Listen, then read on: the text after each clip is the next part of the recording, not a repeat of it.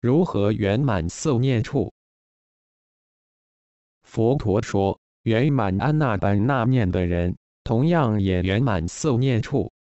这里我仅给出基本的含义。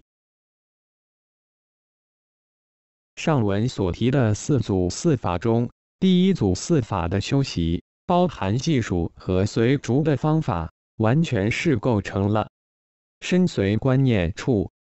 入息和出息作为色身的一部分，称为身。因此，安那般那念经说道：“我于诸身中称为身者，即入出息也。”第二组四法的修习构成受随观念处，经文说道：“我于诸受中称为受者，即对入出息之善作意也。”善指出需要特别的努力去觉之气等等。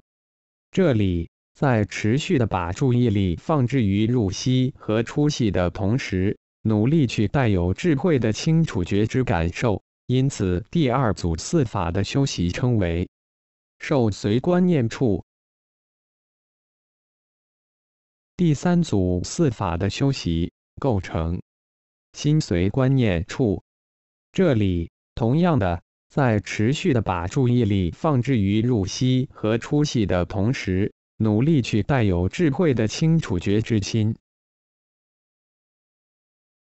第四组四法的修习，比如随观无常是法随观念处，这里再次的在持续的把注意力放置于入息和出息的同时，努力去带有智慧的清楚觉知贪忧等。